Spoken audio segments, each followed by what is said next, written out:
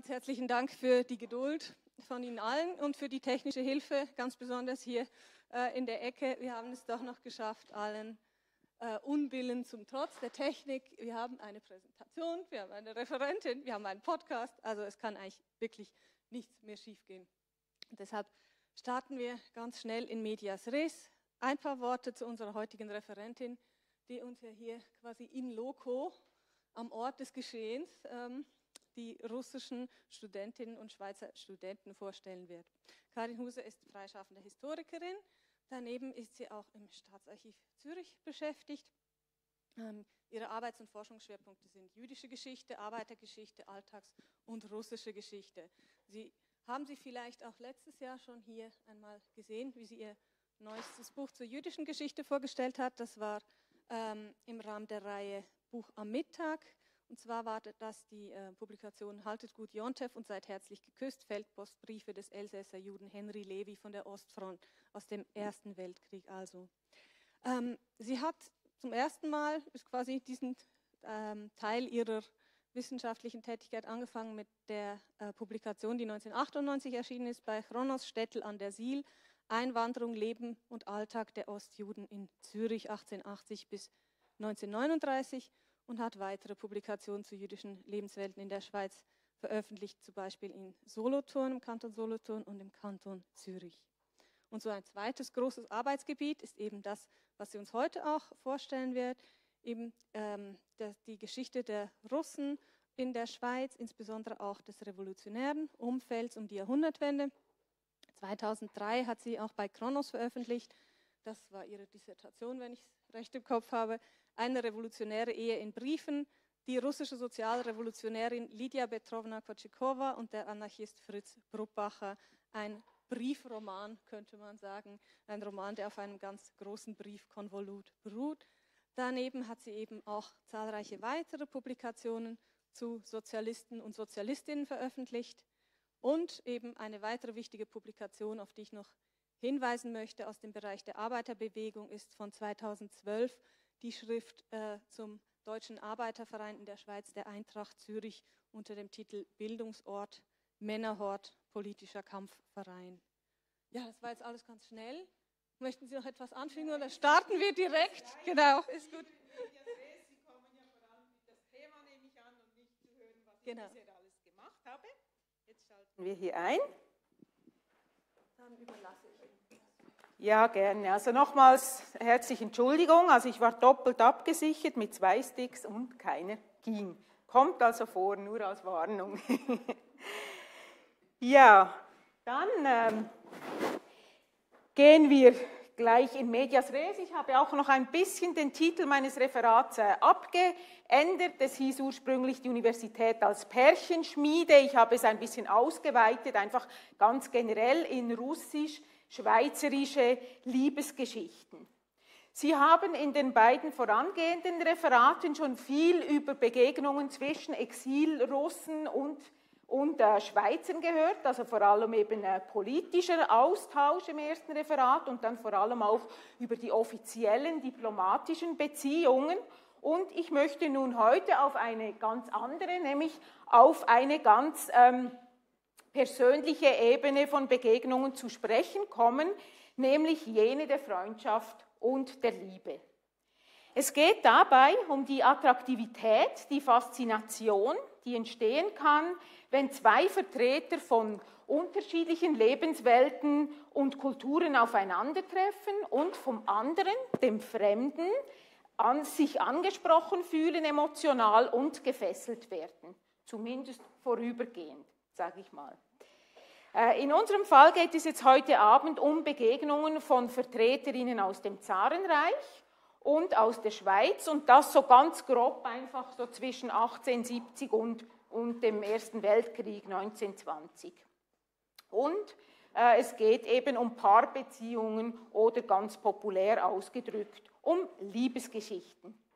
Ich werde allerdings den Schwerpunkt jetzt der, der russischen Studierenden nicht hier auf die Berner Universität legen, sondern äh, mein Schwerpunkt ist eigentlich Zürich. Zum einen, weil da ja das Frauenstudium überhaupt erst angefangen hat. Die ersten Russinnen kamen an die Zürcher Universität. Zweitens gibt es da besonders viele schöne Beispiele von solchen schweizerisch-russischen Pärchenbildungen. Und drittens muss ich auch sagen, kenne ich mich einfach auf dem Platz Zürich äh, in diesem Thema besonders gut aus oder einiges besser als jetzt, was die Berner Verhältnisse anbelangt. Äh, ich werde ganz kurz äh, erklären, worum es überhaupt geht bei diesem Thema, wie es zu Begegnungen kam zwischen Männern und Frauen aus dem Zarenreich und der Schweiz, dann was sie dazu geführt hat, dass sie sich paarmäßig verbunden haben. Dann werde ich einen Reigen bringen von Beispielen von Paarbildungen und schließlich äh, geht es ja eben im Zusammenhang mit Zimmerwald auch ganz stark um den Begriff Revolution und da werde ich Ihnen das Beispiel einer revolutionären Liebesbeziehung oder Ehebeziehung bringen. Äh, zuerst nun also, wo und wie kam es überhaupt zu Begegnungen zwischen russischen und schweizerischen Staatsgehörigen in der Mitte, so äh, ab ungefähr der, also ab den äh, 1860er Jahren und dem Ersten Weltkrieg.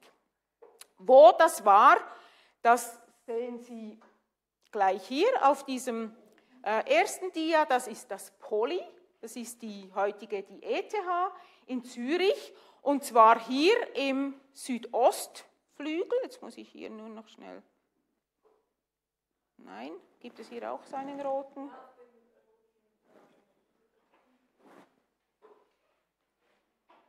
Ah, hier, ich habe ihn. Hier unten im Süd Ostflügel von der heutigen ETH, so wie sie heute noch steht, da waren ja eigentlich die Anfänge der Zürcher Universität. Da befand sich zunächst einmal, bis dann das eigentliche Universitätsgebäude, wie es heute steht, das wurde ja erst 1914 eröffnet, also vorher war die Universität in einem Flügel der ETH. Das war also sozusagen eine der Begegnungsstätten.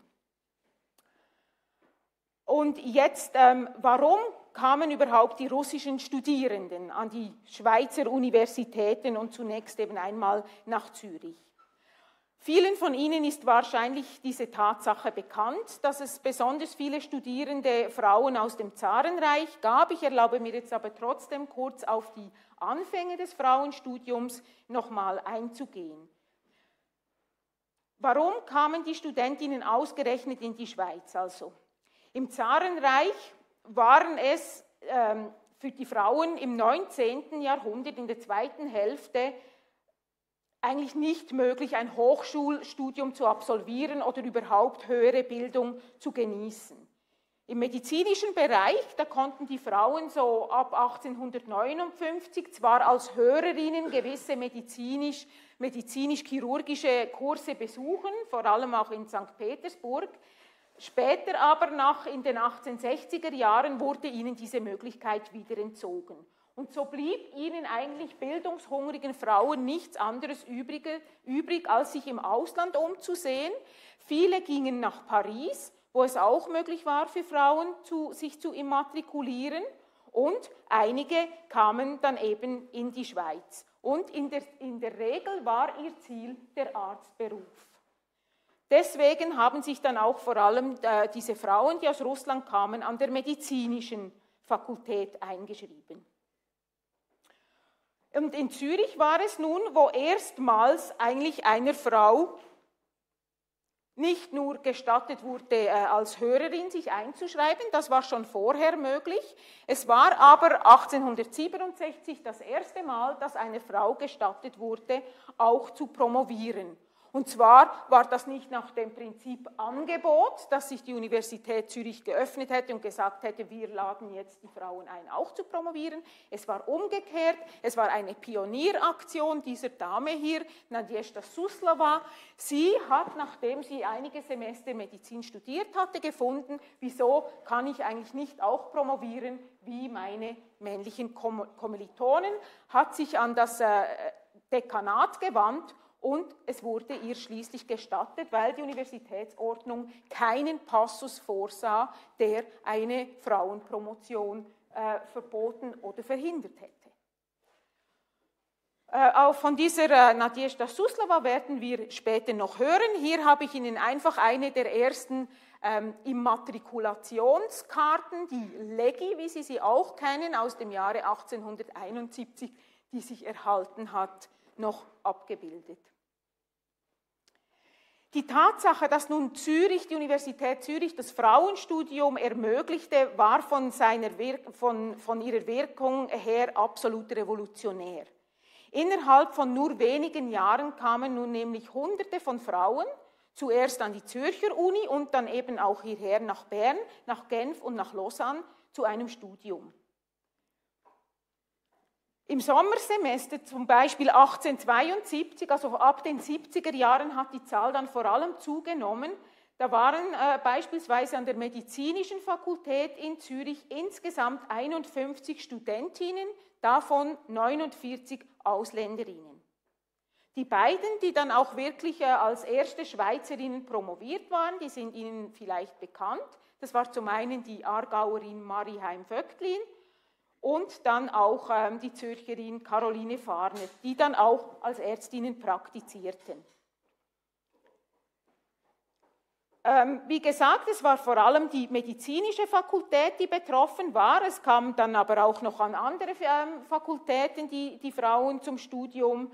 Ähm, bei der Medizin war es dann so, dass bis, also zwischen jetzt äh, Mitte der 60er Jahren und 1900 und Mitte der 20er Jahren waren über 1000 Studentinnen mit Herkunftsland Russisches Reich bezeichnet. Und davon dann eben der ganz große Teil Medizinstudentinnen. Also die Zürcher Universität, die verhielt sich dann eigentlich in ihrer Reaktion sehr pionierhaft gegenüber den Frauen und sie ähm, hatte auch eine sehr liberale Immatrikulationspraxis.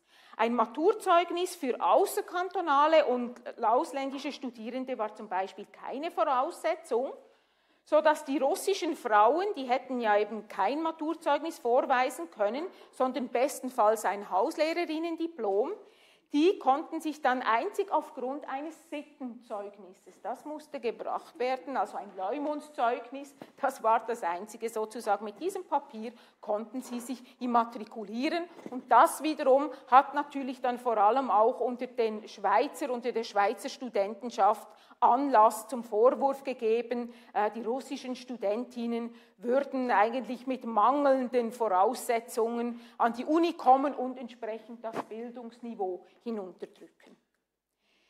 Viele dieser Studierenden aus dem Zarenreich, darunter notabene auch viele Männer, nicht nur Frauen, die waren eigentlich voller Eifer für das Studium und sie wollten es auch so rasch wie möglich abschließen und dann ganz zielorientiert zurückkehren ins Zarenreich und dort beispielsweise ihre medizinischen Dienste zur Verfügung stellen.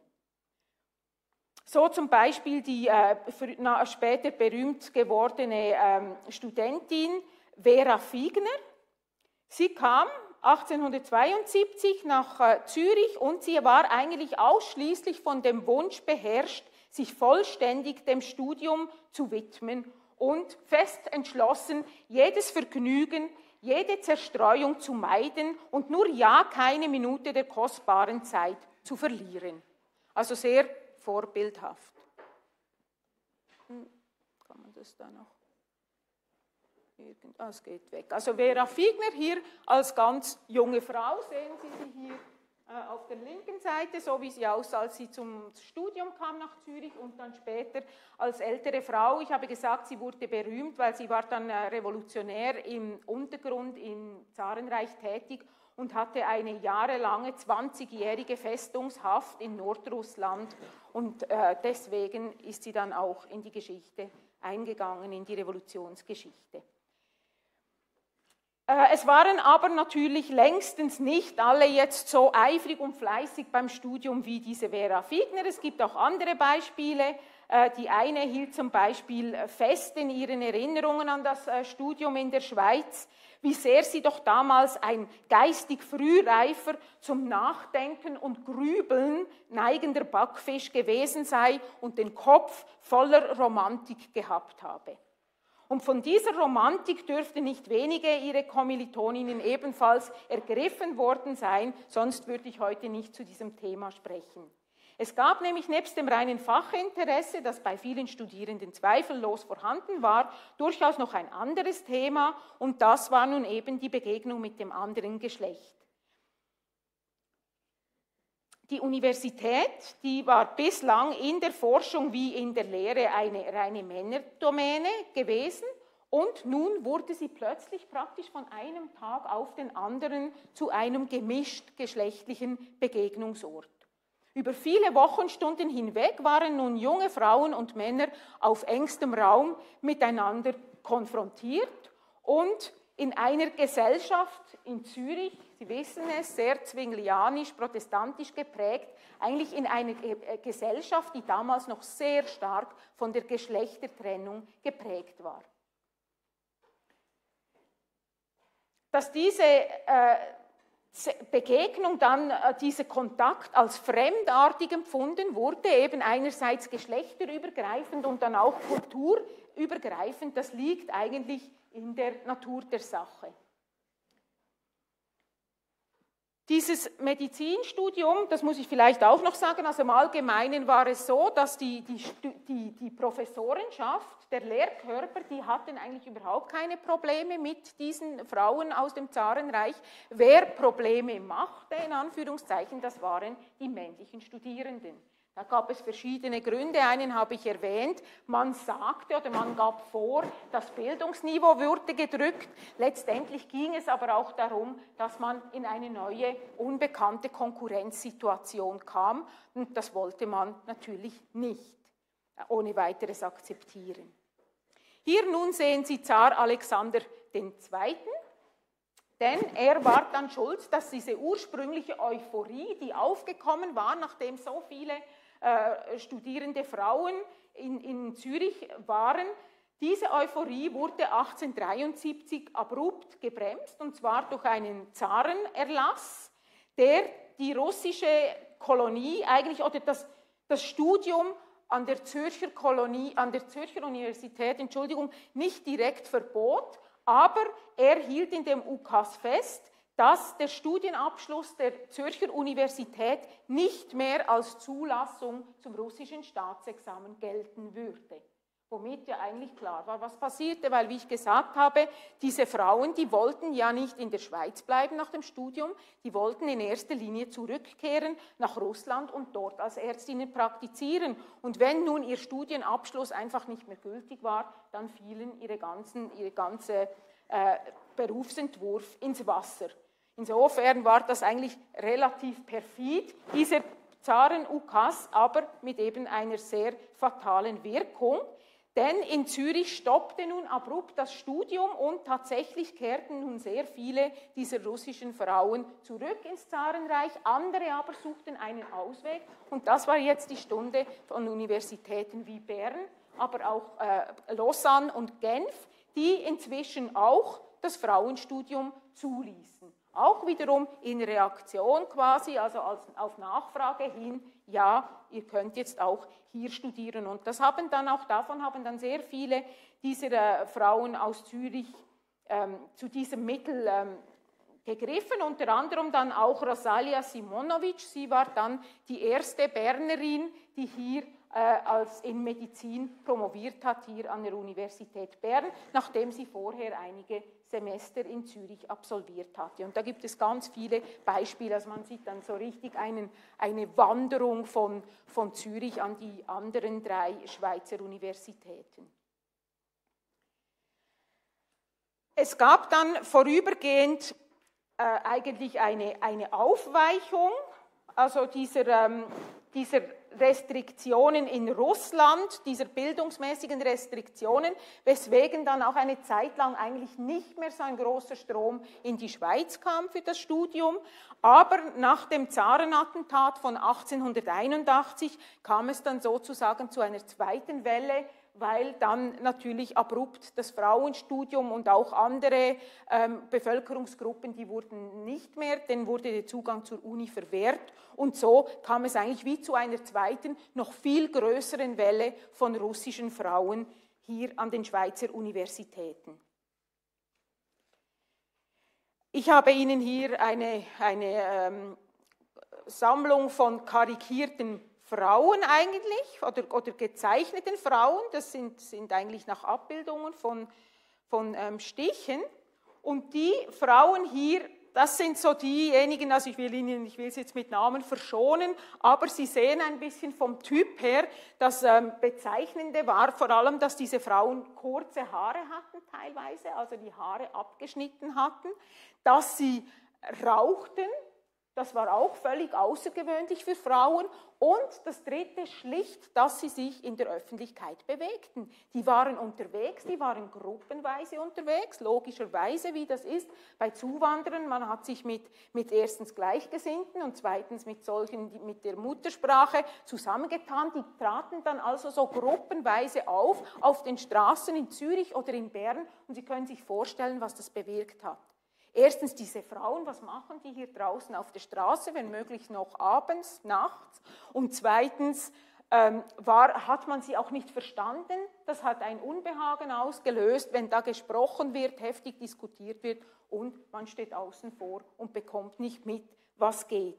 Und deswegen ist es auch wenig erstaunlich, dass diese russischen Studentinnen eigentlich sehr unbeliebt waren, ganz generell gesagt. Es gab gerade von Bern gibt es Beispiele, wo äh, die, die Vermieterinnen sich wehrten, russische Studentinnen aufzunehmen und ihnen ein Zimmer zu vermieten. Man hat das dann also gleich schon unten am Haus äh, einen Zettel hingemacht mit dem Vermerk keine russischen Studentinnen.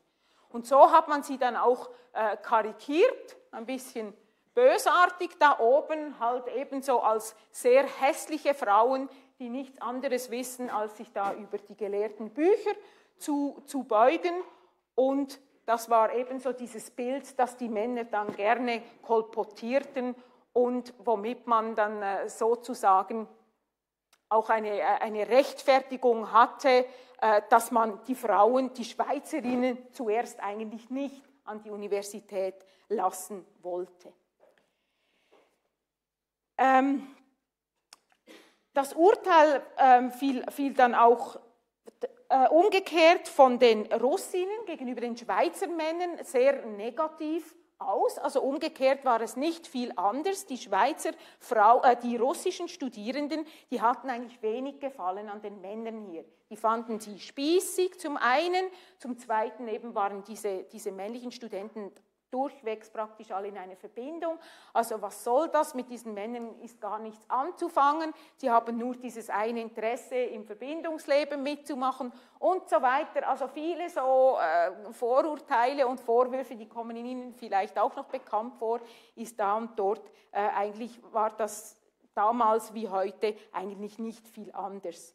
Auf jeden Fall war, sagen wir, die Mehrheit, mehrheitlich war es so, dass es dann wie zwei Gruppierungen gab. Es gab diese ausländischen, diese russischen Studierenden, die haben sich dann, gerade in Zürich spricht man von eigenen, eigentlichen Kolonien, weil die haben sich dann auch lokal, haben die sich zusammengetan. Es gab da bestimmte Häuser, wo eben äh, dann die russischen Frauen Zimmer mieten konnten und so hat man sich unter sich gruppiert. Und das, was ich Ihnen jetzt eigentlich bringe, diese Pärchenbildung, diese Liebesbeziehung, kann man schon fast sagen, trotz allem kamen sie zustande, aber es ist nicht repräsentativ. Also es sind dann wirklich eben Einzelfälle und zwar deswegen lohnt es sich auch, die nun etwas näher zu betrachten. Ich fange an gleich, ich habe schon gesagt, mit der Nadjesta Suslava. Sie war eben, wie erwähnt, die erste äh, Studentin, die promoviert hat an der Uni Zürich und, und überhaupt eigentlich weltweit die erste Frau, die eine Promotion abgelegt hat. Deswegen ging sie schon von daher eigentlich in die Geschichte ein. Und er ist Friedrich Erismann. Er war eigentlich schon fast fertig mit dem Studium, als die Suslova nach Zürich kam. Er war schon äh, Assistent da an der Augenklinik und die beiden haben sich gefunden und zwar nur deshalb, weil Erismann sozusagen speziell war. Er hatte nicht diese gängigen Interesse seiner Kommilitonen, sondern er war eben sehr bereit, sich auf etwas Neues, einzulassen. Und es war eigentlich gerade dieses Fremdartige, dieses Unbekannte, dieses dieses, äh, dieses, was auch vor allem im Engagement dieser jungen Frauen zum Ausdruck kam, was ihn und andere fasziniert haben. Diese Beziehung, die hat dann relativ lange gedauert. Und zwar auch äh, die, die Suslova ist nach dem Studium tatsächlich ins Zarenreich zurückgekehrt, hat dort auch als erste Frau eine eigene Klinik aufgemacht für ähm, Geburtshilfe und Erismann, das ist noch das Spezielle, er ist ihr gefolgt dann, nachdem er äh, verschiedene, seine ganzen äh, Abschlüsse zum Spezialarzt gemacht hatte, hat in Russland nochmal das russische Staatsexamen absolviert, das war Bedingung zum Praktizieren, hat also die ganzen ähm, Prüfungen auf Russisch dann dort abgelegt. Und die beiden haben versucht, wirklich einen alternativen Lebensentwurf zu machen in Russland, der dann allerdings gescheitert ist, muss man sagen. Und ich nehme es vorweg, wie eigentlich die meisten dieser Beziehungen, auf die ich noch eingehen werde. Also zuerst große Euphorie und das Gegensätzliche war da durchaus der Anziehungspunkt, also so nach, nach dem Muster Gegensätze ziehen sich an, was ja durchaus ein Beziehungskriterium sein kann, aber es war einfach nicht von Dauer. Es stellten sich Schwierigkeiten ein.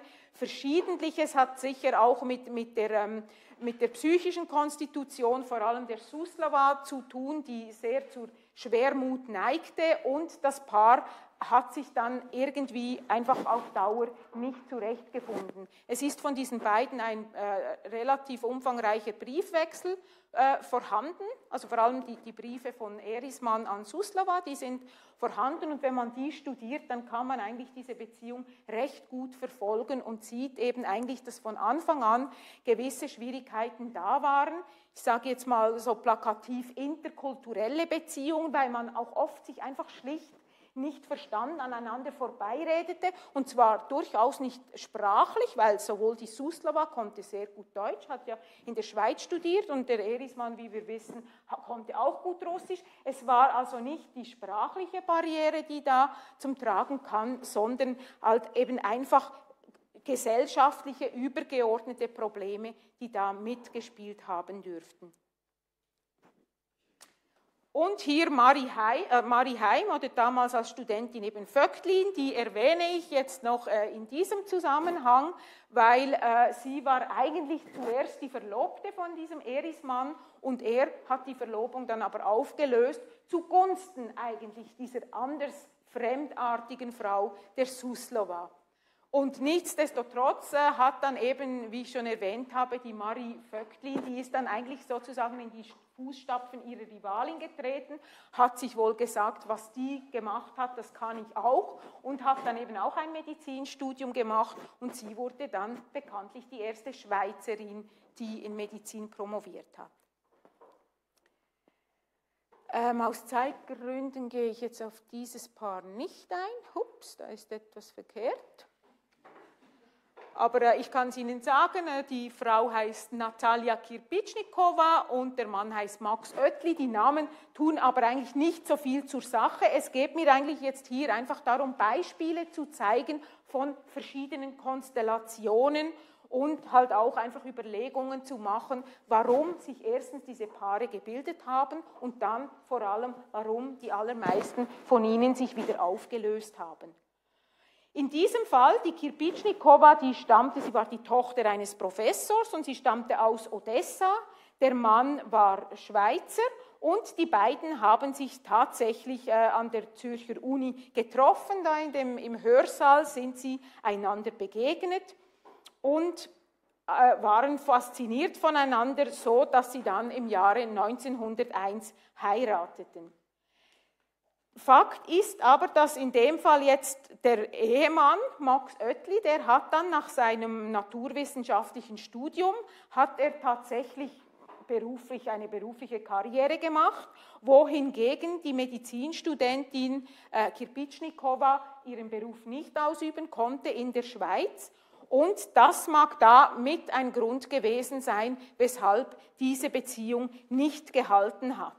Und was da noch speziell ist, die haben sich scheiden lassen und zwar nach 29 Ehejahren.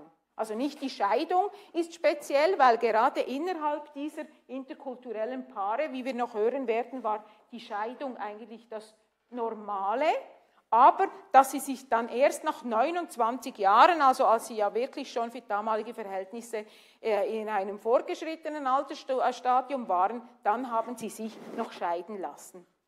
Sozusagen, um das Auseinanderleben, was eben stattgefunden hatte, auch noch auf dem Papier festzumachen. Hier noch die Familie, also das, das, muss man auch noch erwähnen. Die beiden hatten zahlreiche Kinder, es war also eine große Familie, umso erstaunlicher eben auch, dass man sich dann trotzdem getrennt hat. Ich komme noch zu einem anderen Paar, von denen mindestens der Ehemann, ah, ich sehe jetzt aufgrund des PDFs hat sich das so ein bisschen verschoben jetzt hier, weil da müsste es noch heißen, der hat noch einen Nachnamen, da heißt es Hermann Rorschach. Und das ist ein Name, der vielen wahrscheinlich Ihnen, von Ihnen bekannt ist, allein vom Rohrschacher Test und diesem ähm, psychologischen ähm, Test, den er eigentlich ähm, ins Leben gerufen hat und der nach ihm benannt wurde.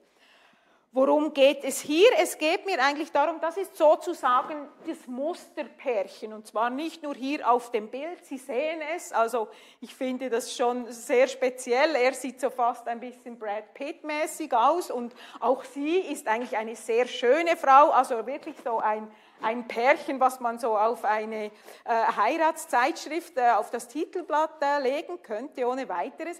Und tatsächlich war es auch so, dass das eines der ganz wenigen Paare ist, die gehalten haben. Also das war ein erfolgreiches Paar.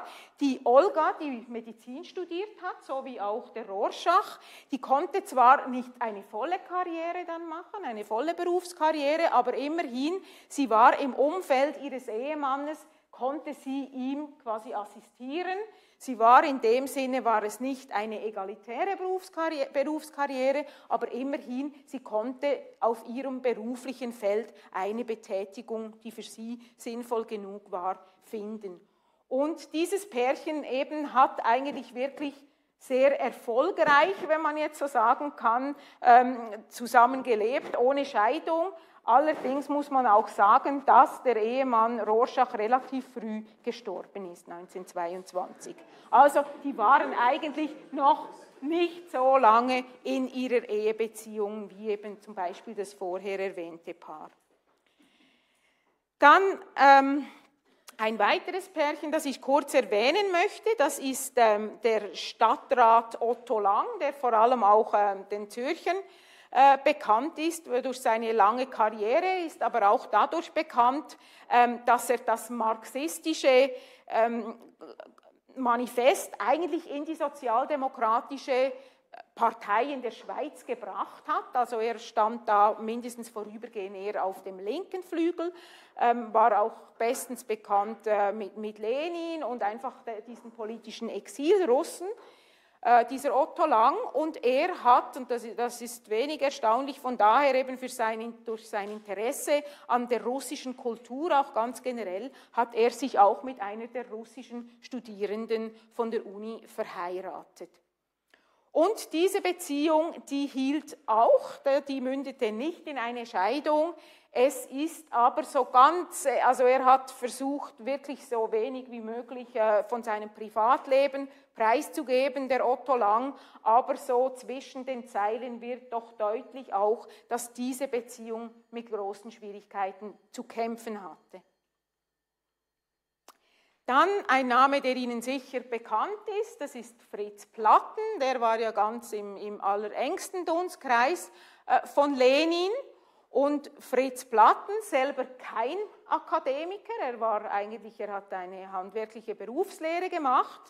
Äh, er hat auch eine Studentin von der Universität Zürich geheiratet und diese, ähm, diese Beziehung die endete dann sogar tragisch. Also sie, sie hatten äh, ein Kind zusammen und die Olga hat sich dann aber wenige Wochen nach der Geburt des Sohnes das Leben genommen.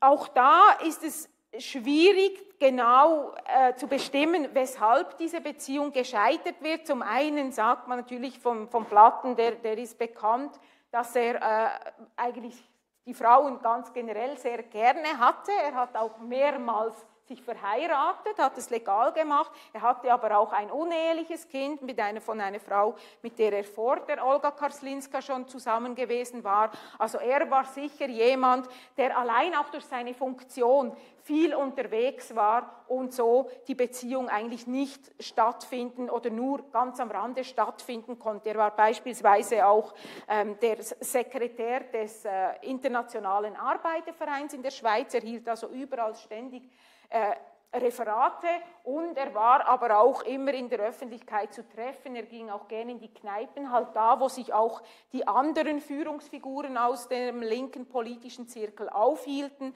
die Exilrussen zum Beispiel, so dass er eben sehr oft abwesend war. Und diese Beziehung wurde dann eben ganz abrupt durch den Tod, durch den ähm, Selbstmord der Ehefrau beendet.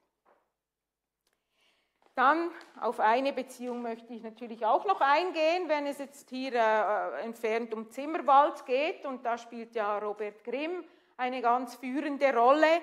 Und so äh, komme ich auch auf diese Beziehung zwischen Rosa Schlein, so hieß seine erste Frau, und Robert Grimm zu sprechen. Nun, wie ist diese Beziehung gestaltet? Auch hier ist das Muster so, dass Robert Grimm nicht aus dem akademischen Milieu stammte, sondern er hat eigentlich eine, eine ähm, Berufslehre gemacht, zuerst im Maschinenbau und dann noch als Typograf. Er war ein Praktiker. Und die Rosa Schlein, sie stammte eigentlich aus einem sehr gebildeten jüdischen Haus aus Odessa und sie kam hier nach Bern zum Studieren. Sie war also eine Berner Studentin. Hier in Bern hat sie dann auch einen Kommilitonen geheiratet, der aus ihrem eigenen Kulturkreis stammte, den Jovel Reichesberg. Äh, und man hätte jetzt, ja, neigt dazu zu sagen, ja gut, eben das passt ja dann, wenn die aus demselben ähm, Hintergrund, kulturellen Hintergrund kommen. Dem war aber nicht so, sondern diese Ehe wurde schon sehr bald geschieden und es kam dann eben zur Ehe zwischen, äh, den zwischen Rosa und Robert.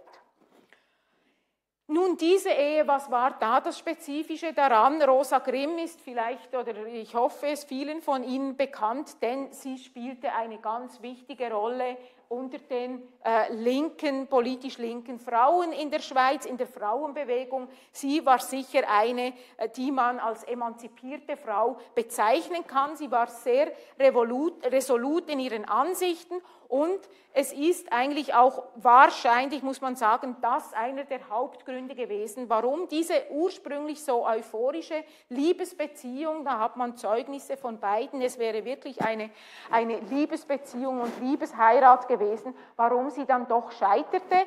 Die beiden hatten zwei Kinder zusammen und ganz entgegen dem Verständnis von Rosa Grimm von einer egalitären Ehe war es dann so, dass vor allem Robert Grimm auswärts, also auch viel auswärts war und vor allem auch ähm, das Geld für die Familie beschaffte durch seine Anstellung bei der Berner Tagwacht, wo er Redakteur war.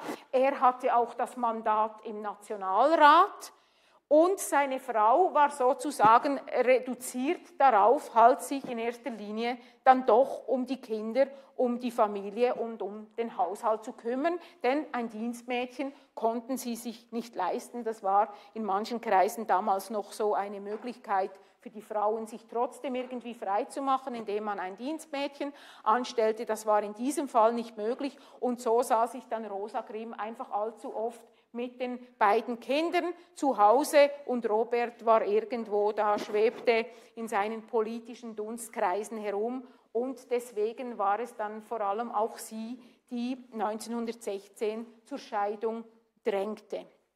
Also während der Zimmerwalder Konferenz waren die beiden noch zusammen. Ja, und dann die lasse ich jetzt auch weg aus zeitlichen Gründen. Aber eine Beziehung möchte ich doch noch erwähnen. Das ist eine sehr berühmt gewordene Beziehung. Ähm, und zwar ist das jene zwischen Sabina Spielrein und Karl Gustav Jung. Zumindest Jung ist Ihnen sicher allen ein Begriff. wird ja auch sehr daran gearbeitet, sozusagen, dass er da in der Hagiografie der Schweizer Psychologiegeschichte immer unangefochten seinen Platz hat. Und deswegen bringe ich diese Geschichte auch für diejenigen, denen sie nicht bekannt ist. Äh, das war dann natürlich etwas, was nicht sein durfte, dass nämlich dieser Jung sich mit einer nicht nur, er war schon verheiratet, sich nicht nur mit einer anderen Frau einließ, sondern auch noch, es war eine Patientin zu diesem Zeitpunkt, denn die Spielrein, die kam mit starken psychischen Problemen damals an die damalige Irrenanstalt Burghölzli in Zürich wo Karl Gustav Jung junger Arzt war und er bekam sie dann als besonders interessanten Fall zur Behandlung. Und da entwickelte sich dann eben eine sehr ähm, intensive Liebesbeziehung zwischen den beiden. Und das war eben ein Ding natürlich, das nicht sein durfte. Es war auch nie die Rede davon, dass äh, Jung jetzt äh, seine Ehe, sein familiäres Leben aufgeben würde, sondern es war völlig klar, dass er eigentlich äh, die Form halten wollte. Und interessanterweise wurde auch dass sehr, sehr lange diese, diese Außenbeziehung Jungs totgeschwiegen. Das war eben irgendwie etwas, was, was nicht sein durfte, das passte nicht.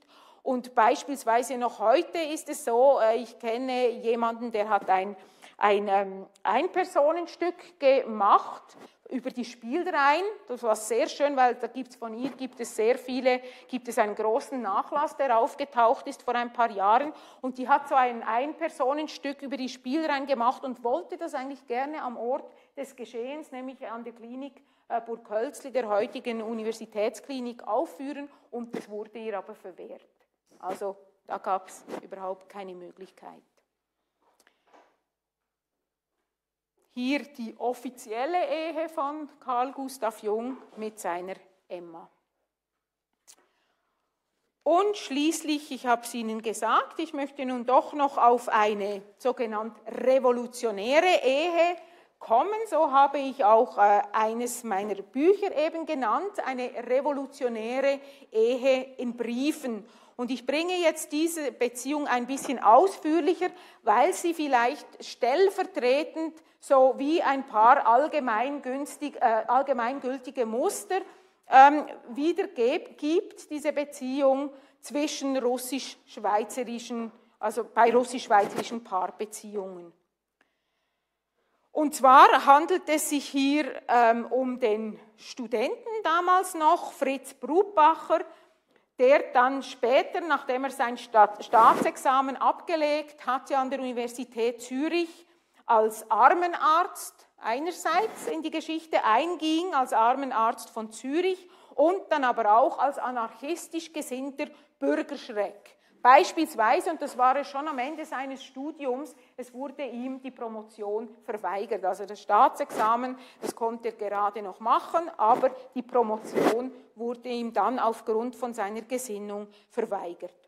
Und er stieß nun während des Zürcher Studiums auf eine Dame, die Kochetkova, sie war zwei Jahre älter, sie stammte von der Wolga im, äh, in Russland. Und sie kam auch äh, explizit nach Zürich für ein Medizinstudium, um nachher in Russland äh, einerseits zu praktizieren, aber auch, was dann eigentlich das Wesentliche bei ihr war, sie war dann auch im revolutionären Untergrund tätig wie notabene eben viele dieser, äh, dieser Studierenden, diesen, dieser russischen Studentinnen aus der Schweiz, sehr viele von ihnen, die waren nachher wirklich im revolutionären Untergrund. Brutbacher selber stammte aus dem protestantischen Zürcher Bürgertum und ich habe Ihnen gesagt, eben, er, er war, es war nicht einfach, in diese russischen Kolonien einzudringen und er war aber einer der wenigen, die es geschafft haben. Er hat sich auch bemüht, Russisch zu lernen. Er hat sich intensiv mit der russischen Kultur auseinandergesetzt, besonders mit der Literatur und dann war es aber vor allem auch das politische was die beiden zusammengebracht hat. Und in dem Fall war es auch ganz klar so, dass sie, die Kochetkova, eigentlich den Brutbacher instruiert hat, ihm eigentlich durch ihre vielfältigen Kontakte, die sie hatte, auch zu Exilrussen, ihm eigentlich viel revolutionäres Gedankengut näher gebracht hat.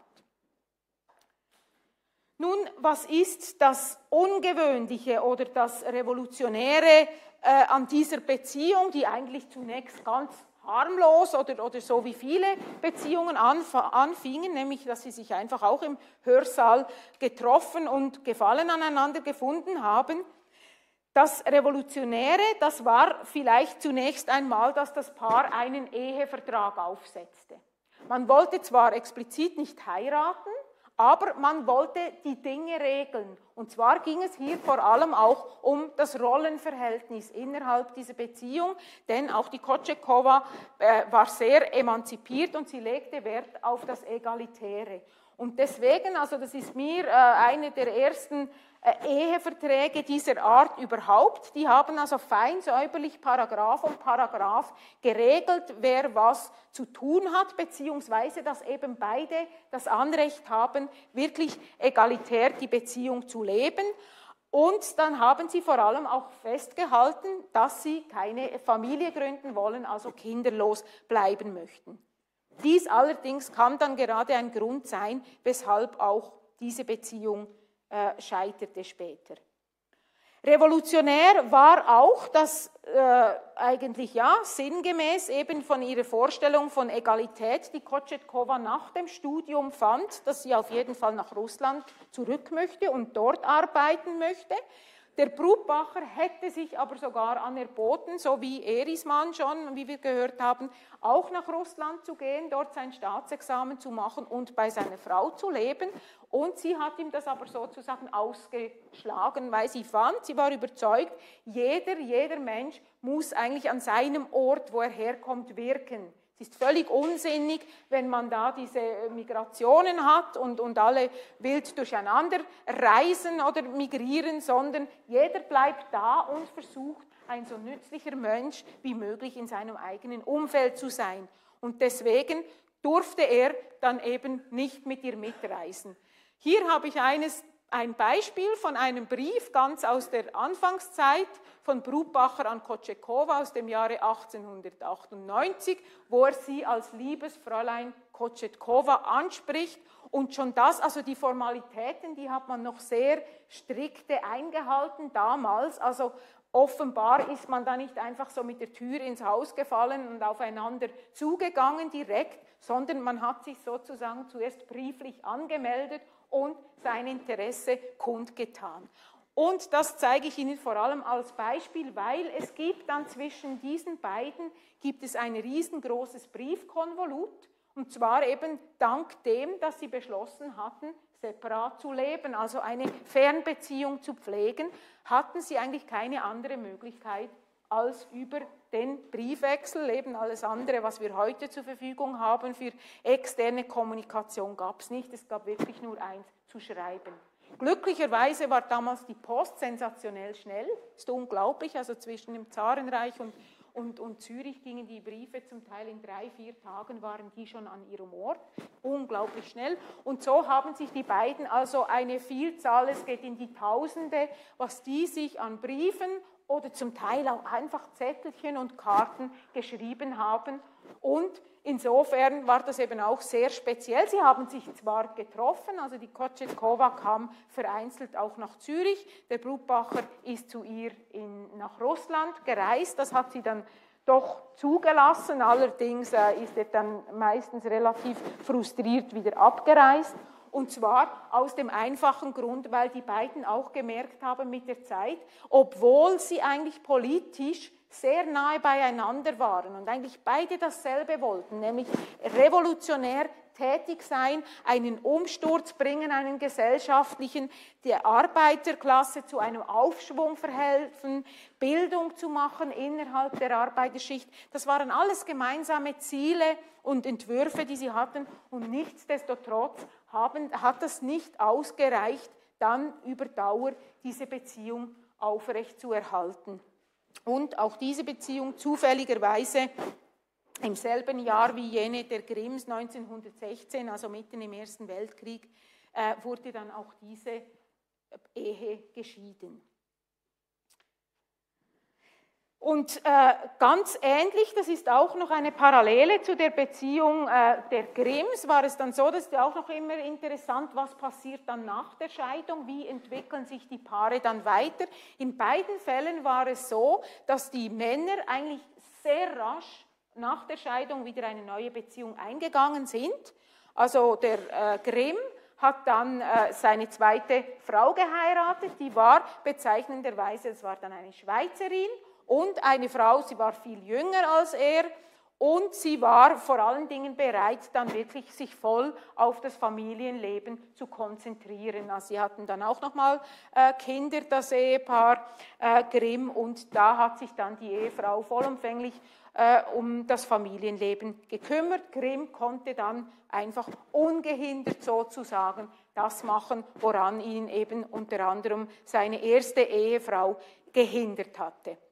Und dann hier eben ganz ähnlich das Muster. Brutbacher hat sofort, ist wieder eine Beziehung eingegangen, äh, wiederum mit einer Frau aus dem Zarenreich. Diese Dame war aber sehr krank, die ist dann hier noch in der Schweiz äh, schon bald darauf gestorben. Und nach, dann ist er nochmal eine dritte Beziehung eingegangen, wiederum mit einer Russin. Und das ist dann die nachmalige, recht berühmt gewordene Paula Brutbacher, die dann vor allem auch in der Geburtshilfe, in der äh, Schwangerschaftsverhütung und so weiter, hat sie dann ähm, sehr evolutionär gewirkt mit ihren Auftritten. Äh, die Kotschetkova, die Frau, die ist noch in Russland geblieben und von ihr verlieren sich dann eigentlich die Spuren. Man weiß nicht, wo sie gestorben ist, aber sicher ist, sie ist nie mehr eine Beziehung eingegangen. Sie war dermaßen erschüttert eigentlich vom Scheitern der Beziehung äh, zu Brutbacher, dass sie einfach gar nicht mehr bereit war, überhaupt sich noch auf einen Mann einzulassen. Und ganz analog auch die weitere Geschichte von Rosa Grimm Sie äh, ist dann von Bern weg nach Zürich gezogen und hat sich dann da mehr schlecht als recht äh, alleine durchbringen müssen. Und es kam dann auch noch dazu, dass sie politisch immer mehr äh, isoliert wurde. Äh, sie kennen dann die Geschichte vielleicht von der KPS. Sie ist dann der äh, KPS beigetreten, wurde aber auch innerhalb der KP immer mehr isoliert und ist dann eigentlich als völlig vereinsamte und verarmte Frau in Zürich gestorben. Ja, ich habe versucht, jetzt hier Ihnen einfach mal so ein paar ähm, Beziehungen oder Beziehungsentwürfe aufzureißen. Das sind noch einfach von, von Zürich hier noch so ein paar Orte, wo man sich besonders traf unter russischen Studierenden.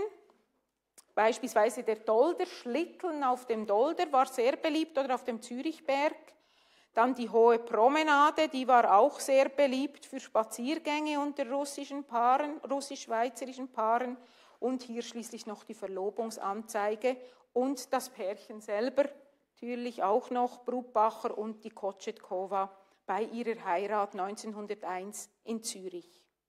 Hier beispielsweise sehen Sie dann noch, apropos revolutionäre Ehe, es gab dann durchaus auch wieder Standards, bürgerliche Standards sozusagen, wie eben beispielsweise dieses sehr steife Studienfoto von, von der Heirat, oder, wo beide sich eigentlich in, in einer Aufmachung bewegten äh, oder in eine Aufmachung begaben, die sie sonst sicher nicht hatten im Alltagsleben.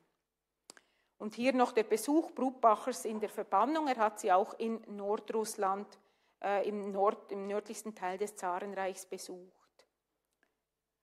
Und schließlich die Beziehung dann, das ist wieder eine ganz andere Art, viel freizügiger. Man muss auch sagen, das ist viel später. Das hier ist jetzt eine Aufnahme aus den 30er Jahren. Fritz Brutbacher und seine, zweite, äh, seine dritte Ehefrau, die Paula Brutbacher, die notabene auch hier an der Universität Bern studiert hat und was bei ihr natürlich auch noch ganz besonders war, sie hat nicht nur ein Philosophiestudium abgeschlossen mit Promotion, sondern sie hat anschließend in Genf noch ein Medizinstudium absolviert.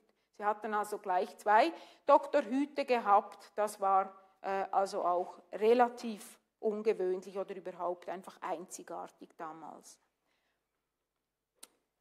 Ja, und hier noch einmal dieser ganze Überblick von diesen verschiedenen Pärchen, die ich da, deren Beziehungsentwürfe ich äh, aufgerissen habe. Und äh, wie, Sie haben es vielleicht selber gemerkt, es gibt eigentlich nicht ein spezifisches Muster, wie diese Beziehungen abgelaufen sind. Man kann zwar durchaus gewisse Parallelen finden, ähm, gewisse Muster sind da, aber letztendlich muss man sagen, es liegt in der Natur der Sache, diese Paarbeziehungen, die sind einfach extrem individuell von den Individuen geprägt. Die äußeren Umstände, die kommen auch noch dazu, aber letztlich geht es um Individuen und wie und weshalb es bei den einen geklappt hat und bei den anderen dann eigentlich bei denselben Voraussetzungen es wieder nicht möglich war, die Beziehung dauerhaft durchzuführen. Das bleibt letztlich, das muss offen bleiben. Ich habe Ihnen gesagt, beispielsweise Rosa Grimm, die war ja zuerst eigentlich mit einem Mann aus ihrem eigenen Kulturkreis zusammen. Auch da hat es aber trotzdem nicht geklappt. Dann geht, gibt es aber die anderen Beispiele wie Brutbacher, der dreimal mit einer Russin zusammen war und die dritte Beziehung hat dann auch wirklich sehr gut geklappt. Die sind also buchstäblich bis ins Grab sind die zusammengeblieben. Die wurden dann äh, im selben ähm, Grabmal bestattet. Und äh, also von daher, es ist eigentlich ganz schwierig, da irgendwelche allgemeingültige mh, hm, Regeln sozusagen herauszufinden. Aber das macht es ja eigentlich auch gerade sehr spannend und anregend. Und weil nun eben gerade dieses Thema Beziehung eigentlich eines ist, von dem wahrscheinlich jeder und jede in irgendeiner Form irgendwann betroffen war, gehe ich davon aus, dass Sie da durchaus auch Ihre eigenen Gedanken jetzt haben zu meinen Ausführungen und ich freue mich jetzt sehr auf Ihre Fragen einerseits oder einfach Gedanken, die Ihnen bei meinen Ausführungen gekommen sind.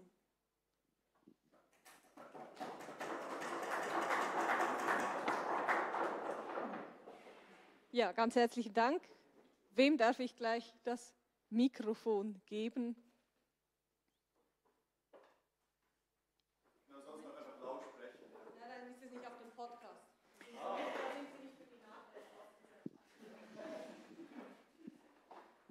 In erster Linie einmal vielen Dank für Ihren Vortrag. Mich würde interessieren, wie sieht das denn etwas überspitzt gesagt an der Heimatfront aus? Also ich meine, wenn man jetzt in Russland ist, man hat die Eltern in Russland, die schicken dann der Tochter Geld und dann erfahren sie plötzlich, äh, mein, meine, es kann auch sein über Umwege beispielsweise, dass dann die Tochter ein, ein Verhältnis mit einem Schweizer eingegangen ist. Wie äh, sind da, da die Reaktionen?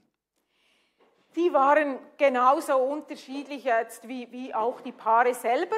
Was interessant ist, das habe ich nicht erwähnt gehabt, diese russischen Studentinnen, die waren zum Teil wirklich blutjung, muss man sagen. Die waren vielleicht 16, 17 Jahre alt, manche von ihnen, die hierher kamen. Die kamen natürlich nicht allein, sondern da kam oft die Mutter selber mit oder dann irgendeine Aufsichtsperson, die in jeder Hinsicht zum Rechten schaute. Also die waren durchaus dann nicht einfach so frei in ihrem Bewegungskreis. Ähm, äh, Aber dann gab es natürlich andere, ja, die hatten eben diese Möglichkeit, die haben das dann auch mitgeteilt. Da waren die, die Reaktionen wie gesagt, unterschiedlich. Manche haben das hingenommen und akzeptiert. Beispielsweise im Fall Kotschetkova äh, da, der Vater war von ihr, der war schon tot, aber die Mutter lebte noch und die hat diese Beziehung durchaus begrüßt. Was vor allem der Fall war jetzt bei jüdischen Beziehungen, das habe ich gar nicht, glaube ich, nicht erwähnt, dass sehr viele von diesen russischen Studentinnen gleichzeitig auch jüdisch waren. Liegt in der Natur der Sache, weil die auch öfter aus einem sehr bildungsnahen Hintergrund, Familienhintergrund kamen und dann ganz besonders das Bedürfnis hatten, ein Studium zu machen. Und da war es dann durchaus problematischer. Das war beispielsweise der Fall bei der ersten Frau von Fritz Platten oder ja, Beziehungsfrau, die waren eben nicht verheiratet äh, sondern das Kind kam unehelich auf die Welt, weil die Frau war Jüdin und da haben sich die Eltern wirklich quergestellt, haben der Tochter verboten, äh, erstens einen, einen Nichtjuden zu heiraten, aber auch einfach jemanden aus einem anderen Kulturkreis und so weiter. Und in Extremfällen, äh, das habe ich auch nicht selten angetroffen, äh, in jüdischen Fällen, wenn es sich um religiöse Juden handelt, es war ja durchaus nicht alle religiös, dass die zum Teil die Kinder verstoßen haben. Also sozusagen, wenn du den heiratest, besonders wenn es eben ein Nichtjude war, dann bist du sozusagen nicht mehr ein Mitglied der Familie. Das ging dann auch so weit, dass man sozusagen eine Totenfeier für dieses Kind absolvierte, weil das Kind war de facto für die Familie dann gestorben. Ja. Also gleich eine Anschlussfrage, die mich, die mich, persönlich sehr interessieren würde. Wissen Sie, was mit den Kindern passiert ist, die aus äh, den Ehen hervorgegangen sind? Sind die zurück ins Russländische Reich oder blieben die in der Schweiz? Im Fall Rorschach dürfte der Fall klar sein, aber bei anderen Ehen würde mich das eben genau interessieren. Ja, also eben bei viele dieser Paare, äh, die blieben tatsächlich, tatsächlich kinderlos zwar aus verschiedenen Gründen. Also eben bei, bei Brubacher Kotschetkova haben wir es gehört, die haben das sogar in den Ehevertrag aufgenommen, äh, aber andere hatten, das ist dann nicht bekannt, warum sie keine Kinder hatten, wollten sie keine oder war es wirklich ein, ein Entscheid. Und bei denjenigen, die Kinder hatten, das, das sind eigentlich fast ausschließlich, glaube ich, jetzt Fälle, wo die Frau, die Mutter auch in der Schweiz blieb und insofern dann auch die Kinder hier in der Schweiz groß geworden sind. Also jetzt auch im Fall von Friedrich Erismann zum Beispiel, der hat ja dann eben auch wieder eine Russin geheiratet, hatte mit ihr hier drei Kinder und die sind dann alle hier in der Schweiz groß geworden. Also ich kenne eigentlich keinen Fall jetzt, wo sozusagen die Mutter dann die Kinder mit nach Russland genommen hätte und dann sozusagen den Zugang äh, den Vätern den Zugang verwehrt hätte damit. Sind sonst noch Fragen? Ja?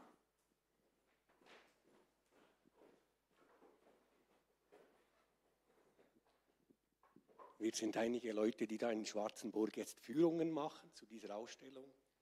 Mich hat ein bisschen erstaunt, ich möchte Sie fragen, können Sie damit leben, dass wir dort sagen, Rosa Grimm, das war nicht vor allem oder nicht nur das familiäre Gründe, also dass die da zu Hause zu diesen zwei Kindern schauen sollte, sondern das waren auch sehr starke ideologische Unterschiede.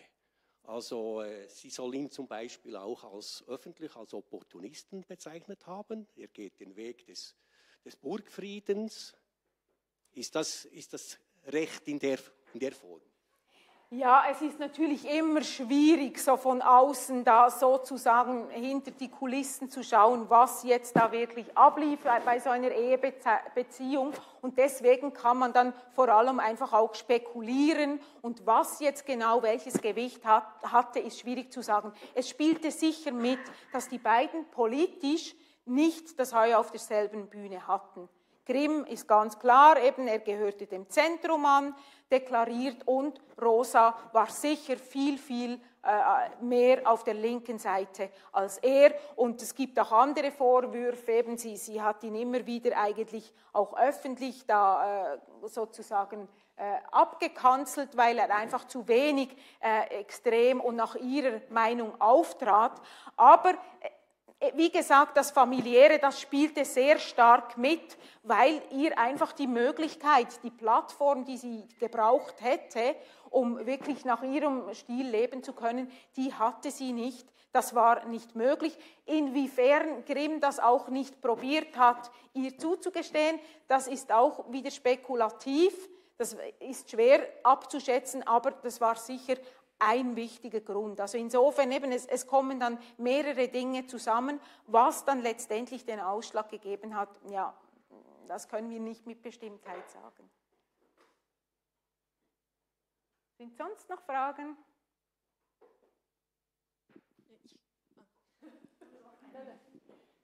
Gibt es veröffentlichte Briefwechsel in Auszügen?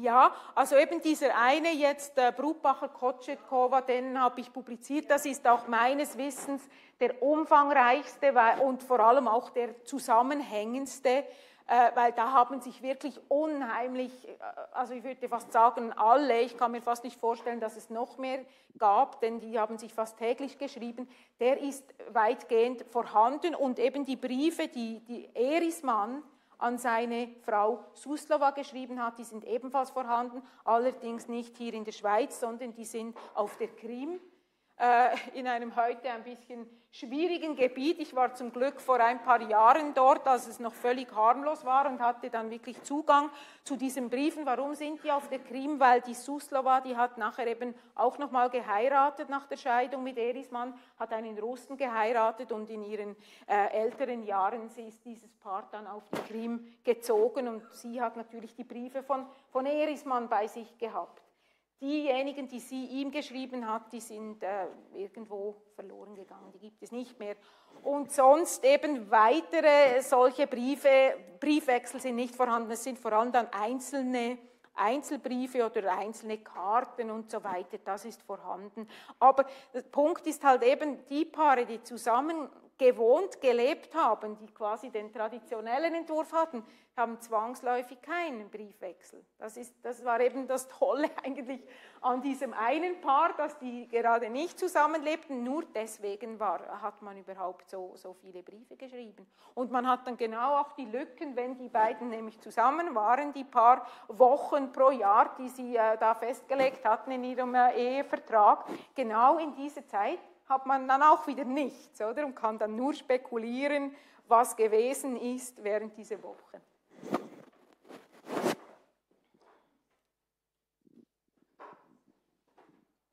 Ich hätte jetzt noch eine Frage so zur äh, Bedingung der Möglichkeit eben äh, des Frauenstudiums in der Schweiz. Also ja.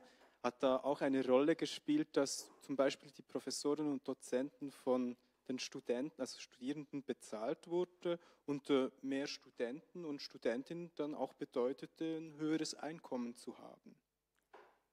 Ja, inwiefern jetzt dieser Aspekt, das war ja vor allem auch in den Anfängen, war das ein großes Thema, als die Unis neu geschaffen wurden, oder dass das wirklich äh, die Existenz sicherte von den Professoren. Aber äh, ich denke jetzt hier, wo wir da sprechen, eben die, die erste hat sich da 1864 immatrikuliert. Ich glaube, zu dem Zeitpunkt stand das eigentlich nicht mehr so im Vordergrund. Ich würde gerne nochmal auf die äh, Frage zurückkommen. Sie haben das angesprochen, dass man die, die russischen Studentinnen, ebenso das Zerrbild der russischen Studentin auch ein bisschen äh, in der Öffentlichkeit verbreitet hat, gerade um auch den Frauen, ähm, den, die Schweizer Frauen eher abzuhalten vom Unistudium. Weiß man denn etwas ein bisschen über die gegenseitige Wahrnehmung von russischen Studentinnen und Schweizer Studentinnen oder Schweizerinnen überhaupt?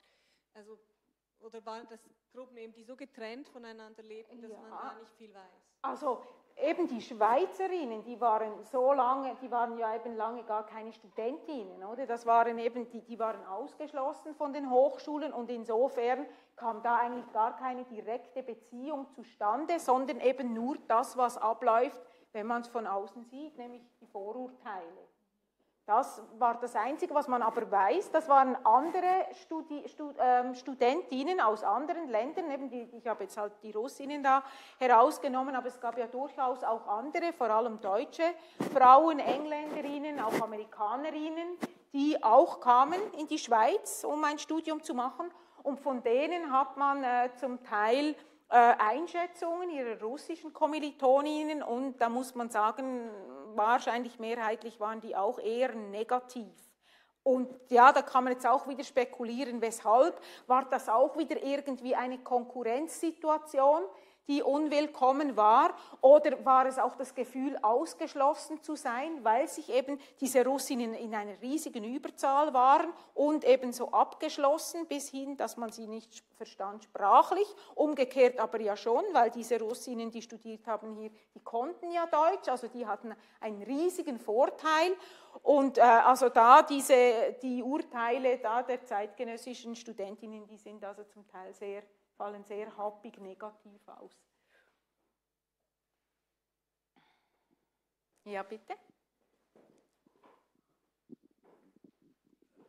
Ähm, wie muss man sich das Sprachenlernen vorstellen zu dieser Zeit? Also konnte man da auch in den Bücherladen gehen und äh, ein Buch kaufen und das ein bisschen so studieren, haben die sich einen Lehrer oder eine Lehrerin gesucht, die die dann eben Russisch gelernt haben. Wie, Mhm. wie können Sie dazu Nein, etwas das hat vorher stattgefunden. Diese Frauen, äh, ich habe es Ihnen gesagt, eben die, die hatten, äh, also nein, das habe ich nicht gesagt, aber es war eigentlich fast selbstverständlich, die stammten in der Regel schon aus dem, aus dem mittleren oder höheren Bürgertum, weil irgendeine arme Studentin aus armem Hause, die hätte sich diese Reise nach Zürich plus eben die Kollegiengelder und so weiter nicht leisten können. Aha, die Männer jetzt, die haben es die haben's mit ihren Frauen gelernt dann. Also Bücher gab es vielleicht schon auch diese elementaren Sprachkurse, die, die, wie man sie heute kennt, aber jetzt gerade in dem Fall, nein, der Rorschach zum Beispiel, der, der konnte auch extrem gut Russisch, der hat auch praktiziert noch in Moskau eine kurze Zeit, aber äh, von ihm weiß man Selbststudium. Erismann, Brubacher, die haben Selbststudium gemacht und vor allem eben mit ihren Partnerinnen dann. Und umgekehrt eben die Studentinnen, die hatten, die hatten das äh, im, im bürgerlichen Leben, hatten die ihre Hauslehrer, weil sie eben schon nicht ans Gymnasium und so weiter durften, aber immerhin oft hatten sie einen Hauslehrer, nicht selten einen Schweizer oder eine Schweizerin übrigens. Auch äh, aus dem Welschland hatten die oft äh, Privatlehrerinnen und so waren eigentlich die meisten Frauen, die hier nach Zürich kamen, sehr gut, also fließend eigentlich in Deutsch und in Französisch. Deswegen hatten sie auch ohne Probleme die Möglichkeit, als dann in Zürich die Uni zu war für sie, äh, nach, nach Genf oder Lausanne auszuwechseln. Dann haben sie es halt, äh, halt auf, auf Französisch gemacht, das Studium.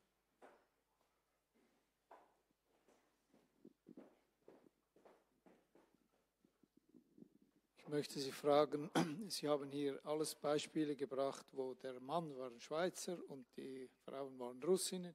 Wann beginnt die Gegenbewegung? Gibt es da irgendwelche Zeugnisse? Ja, äh, das ist eine gute Frage. Ich habe das nicht explizit ges äh, gesagt, aber Sie haben das natürlich sehr scharf beobachtet und ausgerechnet eigentlich das einzige Paar, das ich überhaupt gefunden habe, was umgekehrt war, nämlich russischer Student, tut sich mit Schweizerin zusammen sozusagen. Das ist da das Pärchen da in der Mitte. Habe ich dann aus zeitlichen Gründen jetzt weggelassen. Aber das war eigentlich die, die absolute Ausnahme. Also auf diesem, auf diesem Weg kam das eigentlich kam das nicht zustande. Ähm, aber eben es lag eigentlich auch in der Natur der Sache, weil eben gerade die Uni so eine wichtige Pärchenschmiede war. Die Frauen waren lange Zeit gar noch nicht da. Erst dann in der späteren, in der zweiten Phase, als dann nochmal so viele russische Studierende kamen, da hätte man dann sagen können, okay, inzwischen sind auch die Schweizerinnen angekommen an der Uni, aber also mir ist da eigentlich kein Paar bekannt. Ich habe auch eben, ich finde das auch ein, ein Phänomen und es fällt mir auch auf, dass das immer eigentlich nach demselben Strickmuster geht. Notabene ist es bis heute so, haben auch ja heute wieder sehr viele genau diese Konstellation äh, von russisch-schweizerischen Beziehungen und da ist auch die ganz große Mehrheit ist das Muster Schweizer Mann und russische Frau. Und es gibt auch andere, umgekehrte Fälle, aber, aber das, das scheint offenbar in diese Richtung zu gehen.